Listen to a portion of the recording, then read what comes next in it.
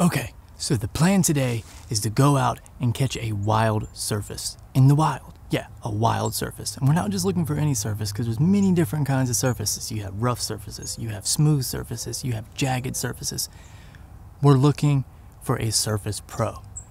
Okay, so my cameraman just informed me right behind me is a surface. Now, what kind it is, I don't know. We're gonna get up close and personal and see what it is.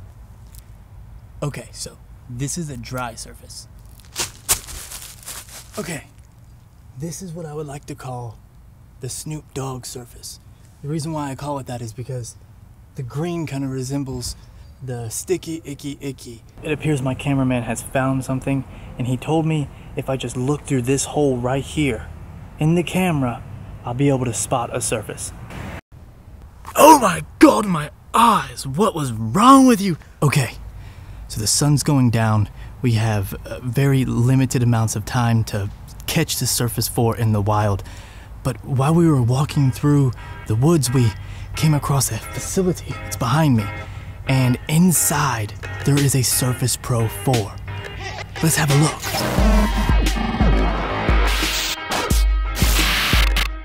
It's been a long time since I actually used a Windows platform device, or PC. The great reviews on Windows 10 really interested me, and I wanted to take a look at their new lineup. So, first, I'm going to be taking a look at the Surface Pro 4, and then next month, I'll be looking at the Surface Book. It comes in different variants, ranging from 800 bucks to you know 2,000 plus. This is the mid-range. It's got the Core i7, 256 gigabytes of storage on an SSD, as well as 8 gigabytes of RAM. And it comes in a very incredible compact form. It's very light, it's very slim. And thanks to the kickstand on the back, being able to pretty much put it in any angle for your pleasure, it's great. And it's not like a kickstand that's dedicated to different type of pivots. You could pretty much angle it any way you want. Now, on the actual Surface Pro itself, you only have one USB port. But on the wall brick, you have another USB port. On the front side, you're gonna find two front-facing speakers, which sound incredible. Uh, they give you a great media consumption experience, whether you're watching a YouTube video, you know, doing some Netflix. I didn't do any gaming on this. I'm not really a computer gamer, period, whether it's on Mac or PC.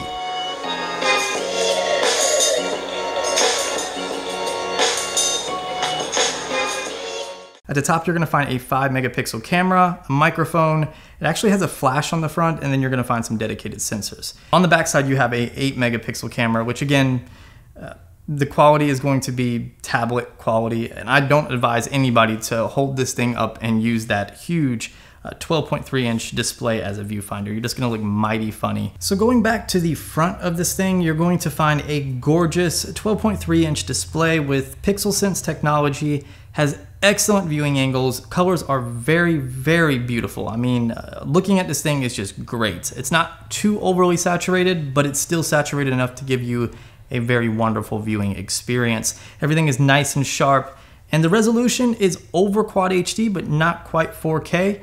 Um, when it comes to something of this form factor, whether I was looking at uh, my iPad Air or even my MacBook Pro 15 inch, this thing just has a much better display. One thing I love about using the Surface Pro 4 was the fact that everything attaches magnetically. Even the Surface Pen, it just clips right there on the side magnetically. Um, the charger inputs magnetically and the uh, keyboard cover, you know, clicks into place magnetically and everything gives you a nice comforting uh, click or snap letting you know that it's in place. The Surface Pro 4 does come with a Surface Pen out of the box. If I remember correctly, the Surface Pro 3 did not. You had to buy that separately. But the keyboard cover, you do have to spend extra money on. I believe they're about 130 bucks, but you can pay a little bit more and get one that has a built-in fingerprint scanner for uh, security features like LastPass that is a password manager. But ultimately, I don't think it gives you more security. The Surface Pen works phenomenal. Uh, the only thing I have ever used close to resembling this was the S Pen, and it worked great. But this just takes everything to a new level. Um, handwriting recognition is awesome. Um, it actually pretty much gets every word that I say spot on and then interprets it into text. So I can actually, you know, do handwriting to respond to people on Hangouts, uh, go to a website, do a search, and it pretty much gets everything that I'm trying to say right off the bat. In fact, it's better than the autocorrect found on the Surface Pro 4's uh, keyboard or Windows 10 keyboard, I guess you would say. But also the fact that if you click the button at the top, it will quickly launch OneNote so you can jot down something or even draw if you want to. And if you hold it down, it will access Cortana. Onto the type keyboard or the keyboard cover, whatever you want to look at it, the Surface keyboard. I have the blue one here. It does have backlighting on the keys, which can be adjusted right there on the keyboard. Works fantastic. For a keyboard cover, this is probably one of the best ones I've used. Very thin, very lightweight, and serves its purpose and it serves its purpose well. So let's get down to software. Windows 10. This is my first time using Windows in years, like I said. So um, I was very psyched to try it out, and honestly, I have no regrets. Windows 10 is extremely fluid and nothing like I remember Windows to be. Some of the software features are great found in this. You do have a battery saver, which battery life on this is not bad. Um, it doesn't get me through a full day of use if I'm using it continuously. Uh, I would say probably about seven hours for me of full use. The notification tray found within the software works great. Um, the keyboard that is on the touchscreen itself, to me, is absolutely horrendous. It's one of the worst keyboards I have ever used on any mobile device or computer or whatever. It just has no type of autocorrect outside of apps that are not default on the Surface itself. When it comes to the performance on this thing, it's incredible, especially for the package that you're getting. It's so compact, it's so lightweight, it's so portable, and performance is just phenomenal. I even edited this entire video using Adobe Premiere, which a lot of other reviewers said couldn't be done because of the lack of a graphics chip or graphics support, but it did a great job. Um, doing basic editing, basic color correction, you know, no problems at all.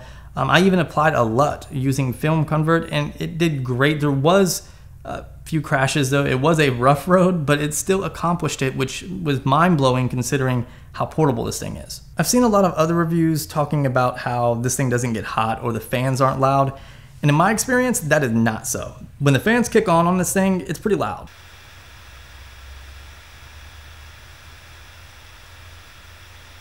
If you're consuming media on this, playing a game, whatever it is you're doing, you're gonna hear the fans. And when it comes to the heating, um, this thing does get hot. I've had it on my lap while downloading apps, um, even watching videos or uh, doing some playback on Premiere, and it gets hot. So when I got this thing, my goal was to alleviate the need for a 15 inch MacBook Pro and my iPad Air, have an all-in-one and be able to edit my stuff on the go and pack in something like the Blue Yeti uh, for mobile voiceovers. And overall, I think it does accomplish that, but I'm not ready to get rid of my 15 inch MacBook Pro because the performance on this just isn't quite there. So if you do a lot of After Effects or Premiere or even some very intense Photoshop, um, I wouldn't get the Surface Pro 4.